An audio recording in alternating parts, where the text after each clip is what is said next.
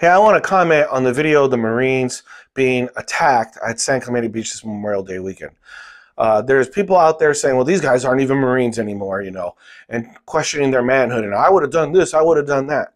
Well, let me tell you, I've got two reasons why I would be probably now in the same position that they were and made the same decisions that they made. One, I guarantee you, before they left for this Memorial Day weekend, a senior enlisted person and an officer gave them a command safety brief in which they told them, if you get in any trouble this weekend, any trouble out in the community, whether it's with your old lady, whether you get a DUI, whether you get in a fight or not, it doesn't matter the circumstances, it doesn't matter what happened, any of the information, that's not imperative.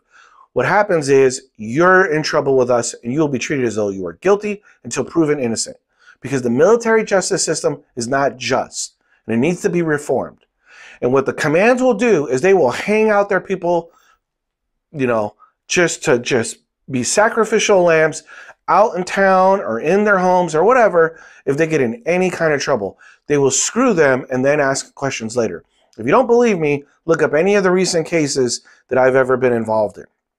Now, the second reason is because when you do intercede, when you do defend yourself, when you defend other people, and you act, quite frankly, like a Marine should, then guess what happens? You get this image here. That's right.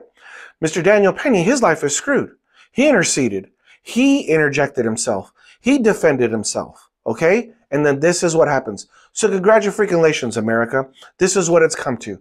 We're now going to get images of Marines getting beaten on beaches by punk kids who've never served a day in combat in their life because they feel emboldened and they know that our service members are so far up against it. And if they do anything in any way, they're going to be uh, treated unfairly, unjustly, and criminally, even though none of the circumstances, none of the information is even, you know, weighed in by the command.